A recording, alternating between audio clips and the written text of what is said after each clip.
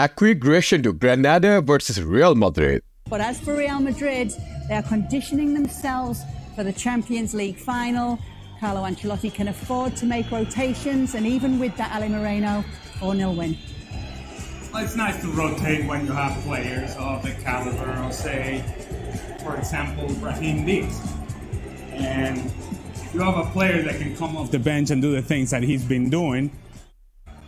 Obviously, makes it a whole lot easier for Carlo Ancelotti. Look, the starting 11 today for Real Madrid, while it was an alternative starting 11, as compared to Granada, hey, it's a bunch of world beaters. Look, there's nothing to say here than the fact that Granada already relegated, gave a fight for the first 30 minutes or so, and then the quality of Real Madrid took over, and players that don't usually get an opportunity get an opportunity to play extended minutes. Brahim Diaz, Fran Garcia, Jose Luzon, and so forth. An expected result from Real Madrid, an expected performance. As for Granada, thanks for coming. We appreciate your efforts. And now off to La Segunda. Yeah, tough day for. So one thing I'll say, despite we played almost B team for Real Madrid, if you see our lineup, first 11, most of the players, they are not first 11 players, right? But despite that, I would argue that this 11 is still better than most of the teams that La Liga has. Also, going to this match, we have nothing to play for, right? Because we already won the La Liga, so our La Liga season is over. Now, only thing is that all the fringe players who did not get enough game time over the season, for them is a chance to show something. We had a tough day for those fans as well, but they still found it within them, Luis Garcia, who is also with us, to give Luka Modric a standing ovation today. Yes, of course. Uh, everywhere that uh, Luka Modric goes deserves that. He's been a, play, a player who leaves an amazing legacy. Um, that doesn't mean that he's going to retire, but at least uh, so far what it looks is that uh, he's going to leave uh, the club at the end of the season. And he's a player who every single time he's been on the field, he's been showing his class. He's been a gentleman. He never been in, in a situation away from, from what it is. The most important is football. And of course, everyone, everyone that loves the sport uh, kind of likes to, to, to, congratulate him, to say uh, uh, have a, a, good farewell. And we all enjoyed what Luka Modric does when he's on the field. And in 170 today, he shows his class. So I heard a rumor that this could be last season by Luca I mean, what a career he had with us, with Real Madrid. That's insane career. Now, every era has to come to an end. So, as much as it's really sad for us as a fan, as a Real Madrid fans, I'll say life is like this. People come, people go. Legends come, legends go. This is the part of our life cycle. Arda Güler to make it 2 0 here. Brahim Diaz starts the sequence, overlapping run down the left hand side from Fran Garcia, who was always willing to make this of run. And then Arda Güler, the key here is the initial first touch that sets up in one fluid motion the second touch to the far post 2 0. So today we had so many goals. Brahim scored a solo goal, beautiful solo goal. But let's focus on Arda's goal. His positioning was just perfect here. Also, when he was scoring this goal, there were almost four players in, in front of him, and he has goalie. So he had only small space, and he was able to finish his chance from that moment, from that angle. That's really good. I mean, that shows his composure. Despite he's young, he has good composure and also good finish. And here's the crazy thing: I think he scored three goals this season for us in La Liga, despite playing almost non-existent minutes. We did mention that Alex Kirkland was pitch side today. It's a good job we're only coming to you now, Alex, because it was so loud at the end of the game. We probably wouldn't have been able to hear you. Tell us a bit more about what was going on there. Yeah, the, the whistles were ringing out around the uh, Stadio Nuevo Los Carmenes here. Granada fans not happy, not a good day for them at all. Their relegation confirmed, as you say, even before we kicked off here, and then chipping four goals against Real Madrid. And this was I mean, it was very, very comfortable for Real Madrid in the end. Let's be honest, Granada offered very little. I mean, Madrid played well, scored some nice goals, but the defending at times from from Granada, they made it very easy for, for Real Madrid.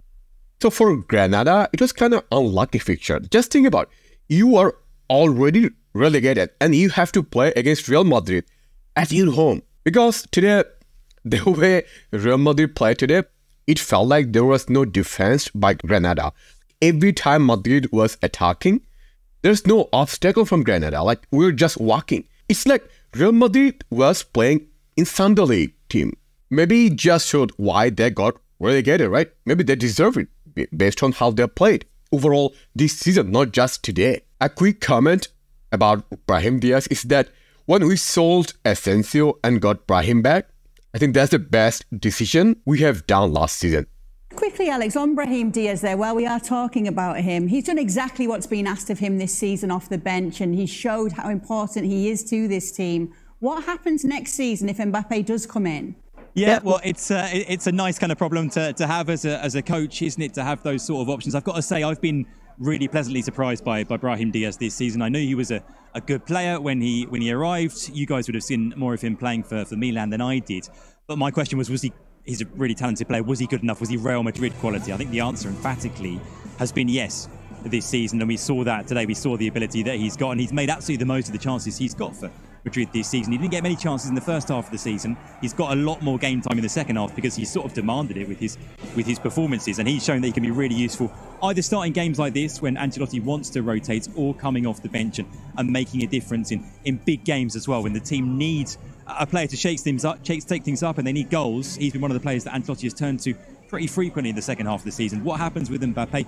Well, I guess they're not they're not exactly the same kind of player, are they? I, I know what you mean. They can operate in similar positions in terms of being wide forwards, but I think uh, there is a bit of flexibility there. You could see them fitting into the same the same team at times. So to add with that point, I have to say it's not just Mbappe who's joining Madrid next season.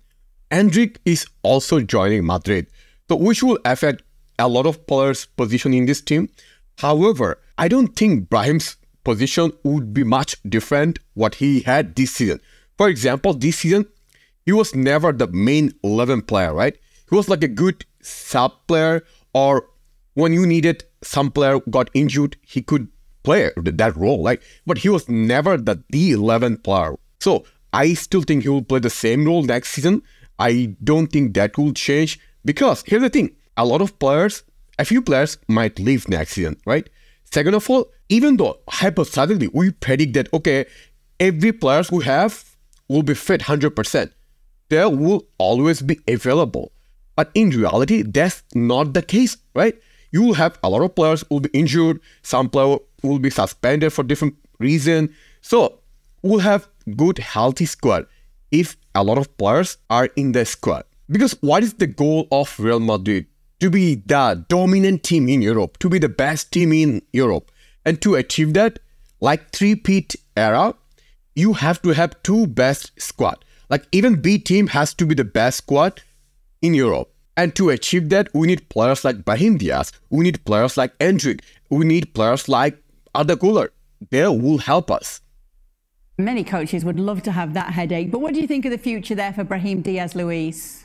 Honestly, I would love to see him week in and week out. Uh, since uh, the moment he arrived to Real Madrid, I, I was watching him and following last year uh, in AC Milan, and he's one of those players who brings something extra, something special. He's uh, very unpredictable, and you can see that he can play on a role a little bit uh, higher on the pitch, or he can drag uh, down get the ball and create from, from there. Nice combination, good to fit with the ball ability and also finishing. So I would love to see him. Is he is he gonna have those minutes at Real Madrid?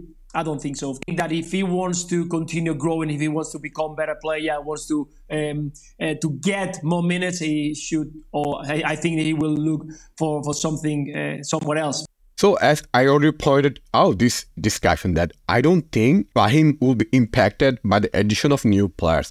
I think he will get, have the same amount of game time he's having this season because Brahim is an impactful player. He's not just one squad player, right? He's he can impact the game like not most of the players can impact. Like he has a different type of skills. So is really useful for Real Madrid.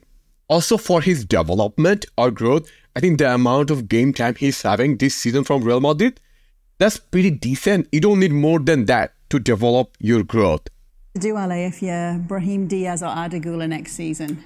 I think it's two different cases. If I'm Arda Güler, I'm looking for the possibility of going out on a loan because the truth of the matter is for him, as good as he has been the last couple of weeks in which he has got an opportunity to play, he's not really part of the rotation.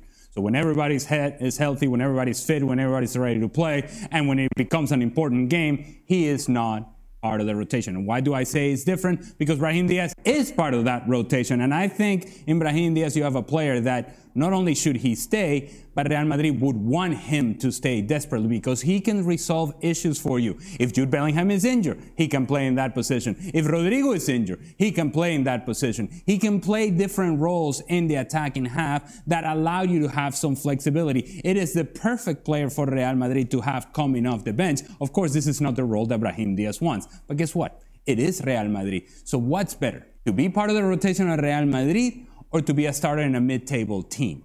And that is the sort of question that he has to ask himself. If I were Brahim Diaz, I would stick with Real Madrid because, as Luis pointed out in the pregame, this Real Madrid team is building not only for the now, but for the future. And he can be part of that rotation into the future. Brahim Diaz has been outstanding in the role that he has had. Ale totally nailed it. Like, I agree every possible points he made here every point. Like every point is on point. I can't disagree single point. I don't think Brahim's position will be affected next season. Again, I repeat. The other point he said the only player who might be, should be worried or concerned is Arda Güler. I kind of agree because you have Endrick coming who can play a striker and right winger position, which is Arda Güler is playing right now, right? Right winger position. So if Arda wants to have more game time, more frequent game time, it's ideal for him to find another club in La Liga, particularly as a loan. I think that would be ideal for him. Being said that, I think he can still play in another position because there's rumor that Modric might leave after this season. Ceballos might leave. So if those two leave, that means there's a position at midfield. Another position Arda can play, right mid, right? He can play in center midfield, which is I think his preferred choice. Also, to add with Ellis' point about Brahim Diaz that he will have enough game time at Madrid, let me give you one example. Couple of seasons ago, Fede Valverde was playing as a like a sub, right? He was playing secondary role. But right now, see, look at him. If you want to play at Real Madrid, you have to be patient. That's the key. A lot of players did not have the patience and they had to leave, like say Odegaard, who is playing at Arsenal. He did not have the patience. He did not have the patience to fight for his place. So he had to leave. Okay, let's talk about that Champions League final then. How did Thibaut Courtois look today for you, Alex? Yeah, he did well.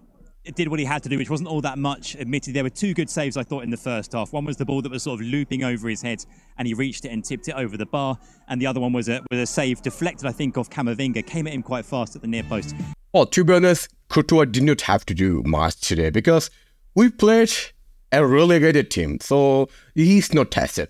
Now, here's one question all the Madridistas are divided. Should Courtois play in Champions League final? I think the decision is not mine, not yours as a fan. The decision has to be taken by our coach. This coach is the one who makes the decision, right? If the coach thinks Courtois is ready to play final, then he will play. If coach thinks, no, Lunin has done enough for this team this season, Lunin deserve it, absolutely, I agree. So as long as Carlo is fine, anyone he thinks deserve the chance, I'll go for it. But if you ask me what's my personal choice, for Courtois, I'm kind of divided. One point I'm thinking, okay, Courtois is the best goalie in the world, right? If he's fit, he should play. He's like a Ronaldo Messi of goalie. So when you have the best player, if he's ready, he's fit, why shouldn't he play? In contrast, if you think about flip side, okay, Lunin has done immense job. If you look at his stat, like save, every stat, every goalie stat, he's phenomenal. Like he has even better stat, in some stats, better than Courtois. So why shouldn't he play? I mean, that's also a good, viable option. Also, regarding performance today, there's nothing to say from my point of view because it's like watching relax without any purpose because we have nothing to lose, nothing to gain from this match, just watching some youngsters play, which is fun. Anyway, let me know what did you think about our performance today?